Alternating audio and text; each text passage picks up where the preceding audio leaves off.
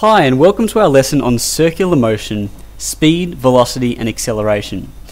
In this lesson, we're basically going to explore the relationship between the speed of an object moving in a circle and its period, which is the time it takes to move around that circle, and how speed also relates to velocity.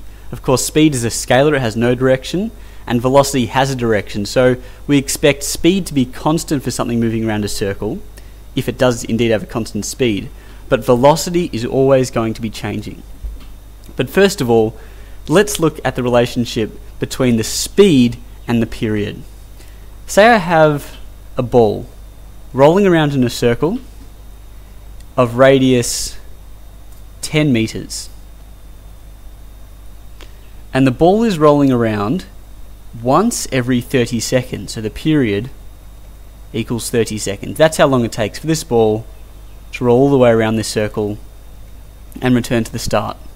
Let's figure out if we want to find the speed at which this ball is rolling, which is given by v. Let's figure out the total distance this ball has to roll. So we know the circumference of a circle is equal to 2 pi r. And in this case, that's 2 times 10 multiplied by pi, or 20 pi. And that is the circumference of this circle, or delta d, the distance the ball has to roll. So we say that's delta d.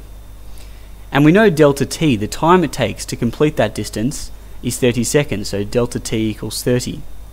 And under this formula here, speed, which we'll give by a yellow v, speed and velocity are both given by v, so I'm going to color coordinate here and say if it's a v for speed, it's yellow, and it's a, if it's a v for velocity, it's green.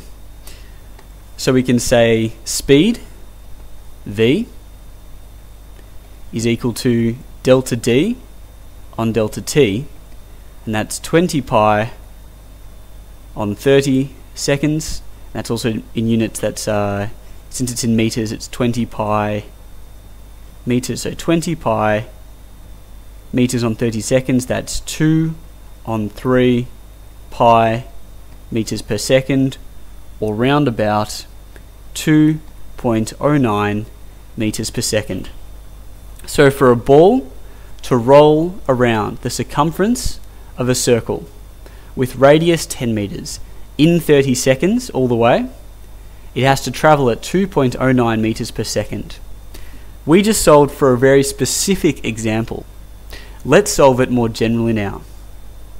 Say we have the, uh, the speed is equal to delta d on delta t. We know that delta t is equal to the period, which is given by big T, and delta d is equal to 2 pi r.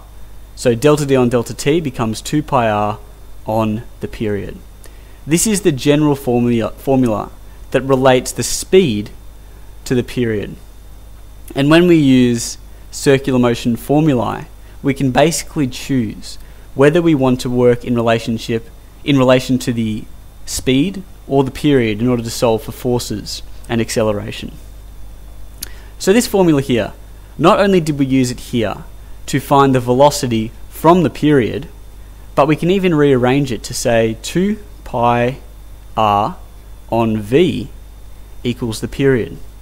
Let's see if that works. We had v was equal to 2 on 3 pi. So 2 pi, r in this case was 10, over the period, 2 on 3 pi is equal to, divide everything by 2, divide the top and the bottom by pi, so we have 10 on 1 on 3, which equals 30 seconds. So it's very easy to exchange back and forth between the period and the velocity. Oh, sorry, the period and the speed, and the speed. I was looking ahead. Now let's discuss velocity. So I'll delete this, draw a new circle,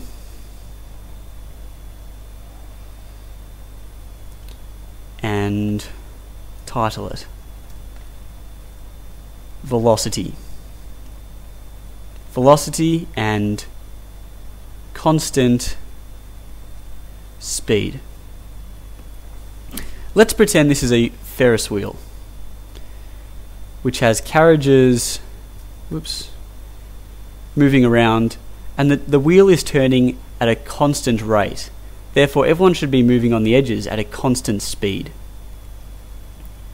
However, as I said at the start, speed is a scalar. It has no direction. But velocity does have direction. And there's a very big difference between, between someone moving with a velocity, say, 1 meter a second to the right, and a velocity of 1 meter a second directly down, and a velocity of 1 meter a second to the left, and 1 meter a second up. All these points here we know that the carriage is moving at a constant speed, but since the direction in which it is moving is changing, we know the velocity must also be changing. And here's the key if velocity is changing, and there's also a change in time in which that's happening, it takes time for the carriage to move from here to here, there must be some kind of acceleration going on. And if there's an acceleration, there must also be, oops, F equals m a. If, there, if something is accelerating, it must have a force being applied to it. So let's look now. We've discussed speed, period, and velocity. Let's jump ahead and talk a little bit about acceleration. Say we have, I'll try and sketch this in the best way. Where is it? Expand the circle. I want to draw a half circle here. That works. Say I have a car and it starts off up here and it's trying to turn a corner. We'll say it has a mass of 1000 kilograms and it starts off heading with this velocity 10 meters a second east. We'll draw a little compass here north, east, south, and west. And after it's finished turning, it's heading 10 meters a second south. And it's, uh, it's moving at 10 meters a second all throughout this, uh, this turn. I'll mark that in as a speed. Let's figure out the acceleration for this turn. We know that acceleration is delta v on delta t. And of course this delta v is a velocity because acceleration is also a vector. So we want to figure out the change in the velocity. So vf, the final velocity, is equal to 0 meters a second east and 10 meters a second south. And the initial velocity is equal to 10 meters a second east and 0 meters a second south. So delta V is equal to VF, take VI, which comes to, let's see, VF. VF is 0 meters a second east, VI is 10 meters a second east. So VF, take VI, is negative 10 meters a second in respect to the direction east and then VF is 10 meters a second south, and VI is 0 meters a second south, so 10 takes 0 is 10 meters a second south. So this is the change in the easterly di direction and the change in the southerly direction. And of course, if we divide delta V by delta T, we'll say in this case, delta T, it took 10 seconds to pull this turn. Then A, the acceleration is equal to this divided by 10, so negative 1 meter a second squared east and 1 meter a second squared south. And I'll show, I'll show why this is important.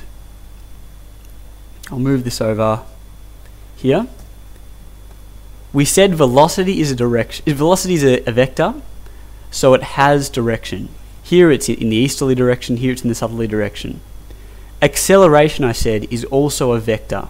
Therefore, it must have direction too. Let's see what direction this acceleration is pointing. if we said this is the easterly direction and this is the southerly direction, then this must be the negative easterly direction. So the acceleration, say, of the car at here is equal to negative 1 meter a second squared east and also 1 meter per second squared south. This direction here. And these two vectors sum to give this. I'll draw it in I'll draw it in blue. That is the direction of the acceleration. And if you'll notice, this car is turning along the outside of a circle. And we're finding that the direction of the acceleration, well, the acceleration both needs to take away this velocity in the easterly direction. So it needs to be like that. And it needs to add velocity in the southerly direction. So it needs to be like that. And at all times, the acceleration is actually pointing towards the center of this circle. So that's the key thing to take away from this lesson. Something moving around a circle at a constant speed has changing velocity. If it has changing velocity, it must have some kind of acceleration, and because of the way that object moves around the circle, the acceleration is always towards the center of the circle. We'll look more at the real formulae for centripetal acceleration in the next video.